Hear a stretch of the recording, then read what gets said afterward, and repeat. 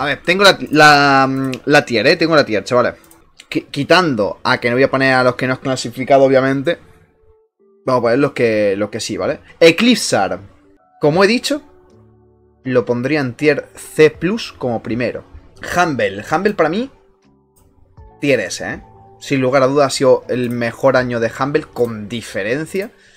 Primero de región, holgado y prácticamente creo que llegó a, a 4 de 5 finales, ¿no? Ogurchiki.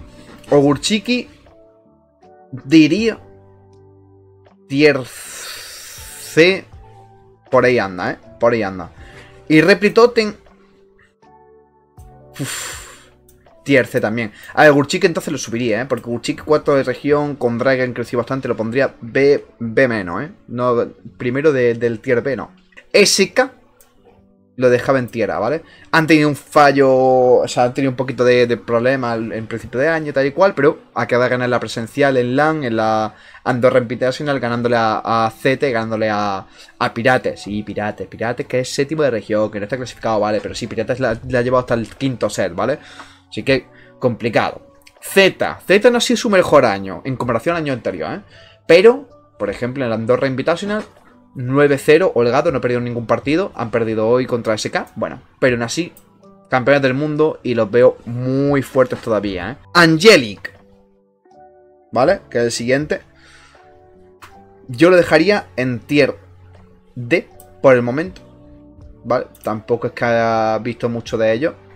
Pero creo que se pueden crecer en LAN, ¿eh? En LAN yo creo que este equipo se puede crecer bastante. Lo dejarían D o incluso C menos, ¿eh?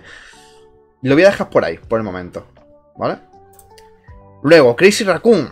Crazy Raccoon, holgado. Lo voy a dejar en tierra. Crazy Raccoon, tierra. O incluso, mira, lo voy a dejar en tier S. Por debajo de Z, ¿vale? Pensando que es de izquierda a derecha. Porque está Tensai. Y Tensai me parece el mejor juego del mundo actualmente, ¿eh? Actualmente y bueno, desde hace ya tiempo, ¿eh? Navi. Navi, que clasificado de In Extremis. Mm, no clasificó la primera, la segunda ganó a curiosamente a Crazy Raccoon y tal y cual, pero yo no lo veo tan, tan, tan, tan fuerte, ¿vale? O sea, sí, tendrán experiencia, todo lo que tú quieras, pero mm, ha sido muy irregular el equipo. Muy, muy, muy, muy irregular, ¿eh? Lo dejaría mm, por aquí, ¿eh? Por debajo de, mm, de Totem, yo creo que sí. Yo creo que sí, porque Totem también no clasificó en una y lo ha tenido ahí también bastante complicado. Así, la región de, de Media ya sabéis que es muchísimo más fuerte en el aspecto de que se presentan, bueno, se han presentado hasta 10.000 equipos, de los cuales estaban capados 2.048, ¿sabes? Que es una locura, ¿no? Luego, eh, este, el equipo de mm, Rival Esports, ¿verdad? Siempre se me olvida. O Rival Esports, siempre se me olvida. Rival Esports, segundo de región, clasificado directo. Hmm. Yo diría que lo, lo pondría. Lo pondría así. B. Luminosity. Luminosity ha quedado, creo que. cuarto de región, ¿eh? Por encima de STMN, pero. sufriendo. Yo le dejaría en tierra. Em, hmm. B menos. C plus. Por delante de Totem. Por debajo de Totem. Lo dejaría por aquí. Dudando, ¿eh? SK tierra, por supuesto. Como no voy a dejarlo en SK, tierra. Ha tenido un muy buen año ha tenido sus más y sus menos. Y encima de todo ha ganado ahora mismo a, Pirates en la final y ha ganado a Z. Pero Z ha sido de un año en plan regular. Ese que lo tenido un poquito más irregular en comparación. Pioneers. Pioneers a mí me pareció un equipazo y sorpresa este año, ¿eh? Y Pioneers lo dejaría en tierra A, ¿eh? Es verdad que no tienen experiencia en LAN. Si no recuerdo mal, no tienen experiencia en LAN, pero lo dejaría en tierra A, ¿eh? Juan Carlos y Paint sí tienen, RBM también. Ah, sí. Pues mira, si tienen experiencia, los dejo entonces por aquí, ¿eh? Si no lo hubiese bajado. Trife, Trife, Trife, Trife, Trife. Trife, tengo un problemita con Trife, ¿vale? Se ha quedado tercero, ¿vale? El ECQ y tal, pero es que Trife tiene una experiencia en LAN increíble. No ha sido su mejor año, eso es verdad. Perdieron en cuartos de final varias veces y tal.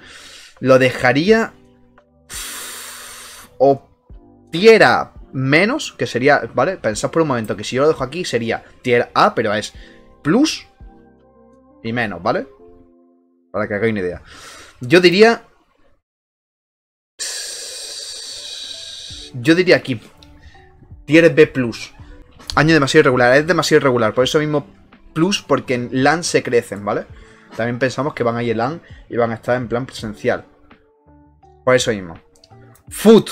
Foot no EMEA, ¿vale? Foot de Sudamérica. El equipo de rol con Pekka, Motev y Jubileu. No han tenido experiencia, creo que, de LAN. Bueno, sí se han tenido. Pekka y Motev sí han tenido. Jubileu no. Pero sí que te da una tranquilidad de que Roll es muy bueno drafteando. Por aquí lo dejaba, ¿eh?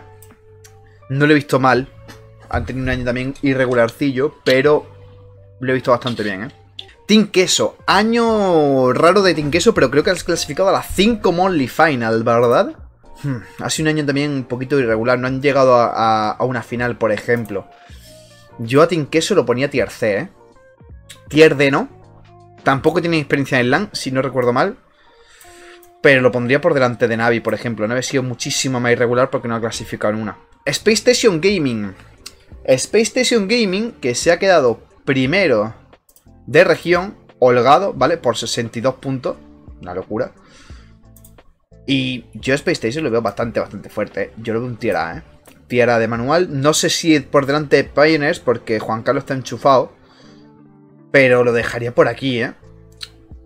Es que no sabría deciros, ¿eh? Yo dejaría, lo dejaría aquí, creo, ¿eh? Lo dejaría en A- o B+, ¿vale? Yo creo que así está bien. Porque, joder, tiene un buen año. Sí, que SA tiene menos nivel y tal y cual. Eso en una LAN, sudad. O sea, de verdad, en una LAN, mm, de repente puede llegar Angelic, que es el actual BC Gaming, que lo acaban de fichar. Y a lo mejor le follan el culo a todo. es así tal cual, ¿eh? Y ya solo me quedan los tres últimos, ¿no? Los, de, los, mm, chinos, ¿vale? Que vamos a ponerlos, pues como que son estos, ¿vale? Mi, ND y OP, ¿vale? En plan, que serían Tosin Lotus, Fenice y Connection, que se acaban de, de llamar, ¿no? Como Tosin Lotus ya ha estado en un mundial, no lo pondría como tier C o tier tal. Yo creo que lo pondría... Si Angeli se metió en toda, diría que lo voy a poner por aquí. No por delante de Navi, porque Navi me parece... Mmm, bueno, es que Navi también... Joder, que Navi no clasificó en una, tío, pero es que es Navi, ¿sabes? Como Toxic Lotus, Toxic Lotus ha ido al mundial, lo dejaría en tier C y os voy a dar la explicación, ¿vale? ¿Por qué? Toxic Lotus sí que tienen China. China es que es un hermético, está cerrado, no juegan contra nadie. Pero Toxic Lotus es el único equipo que ha jugado Screams contra Crazy Raccoon y compañía. Por lo tanto, creo que Toxic Lotus puede tener un mayor nivel y por eso holgadamente se reventaron a toda China.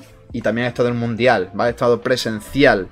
Entonces, creo que los pondría en tier C. Tier C no lo pondría más arriba porque obviamente mm, hermético, China. Luego, mm, Fenice y, el equipo de Connection, obviamente los dejo en tier D.